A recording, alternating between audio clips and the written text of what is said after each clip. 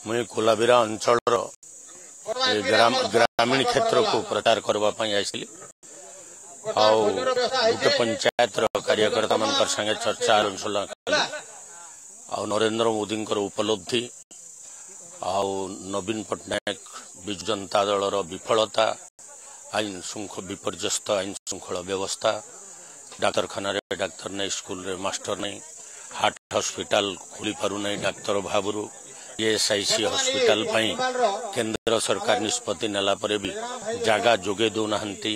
ମହାନଦୀରେ ବ୍ରିଜ ପାଇଁ ପଇସା ମଞ୍ଜୁର ହେଲା ପରେ ବି କାମ ଆରମ୍ଭ କରିନାହାନ୍ତି। ପାଉଁଶର ପାହାଡ଼ ଧୂଆଁ ଆପଣଙ୍କର ଯୋଉ ଲୋକଙ୍କର ଶରୀରକୁ ନଷ୍ଟ ବିନଷ୍ଟ କରୁଛି। କ୍ଷତ ଆପଣଙ୍କର ହାର୍ଟର ବେମାର ଲିଭରର ବେମାର କ୍ୟାନ୍ସର ବେମାର କାରଣ ହେଉଛି।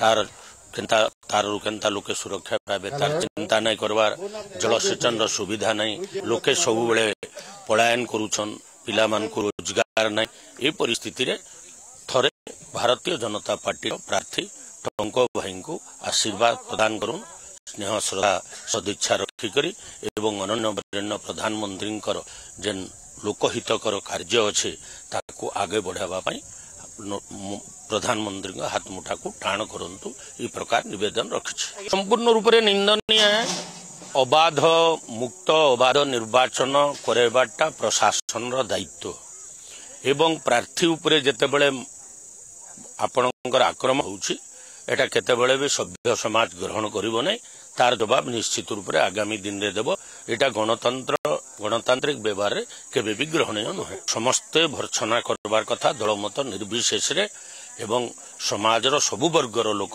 ଏହାକୁ ନିଶ୍ଚିତ ରୂପରେ ନିନ୍ଦା କରୁଥିବେ ଏବଂ ଘୃଣା କରୁଥିବେ ବା ଉମ୍, ପରାଜୟର ଭୟରେ ଆ, ବିଳବିଳଉଛନ୍ତି ବିଜୁ ଜନତା ଦଳବାଲା ଭାରତୀୟ ଜନତା ପାର୍ଟି ପ୍ରତି ଲୋକ ସମର୍ଥନ ବଢି ଚାଲିଛି ତାକୁ ଦେଖିକରି ସେମାନେ ବିଚଳିତ ଅଛନ୍ତି ଭୟଭୀତ ଅଛନ୍ତି ଆତଙ୍କିତ ଅଛନ୍ତି। ଦେଖନ୍ତୁ ତାଙ୍କର ଅନ୍ଧାରୀ ବିଜୟ କାର୍ଯ୍ୟ- କାର୍ଯ୍ୟକ୍ରମ ଚାଲିଛି।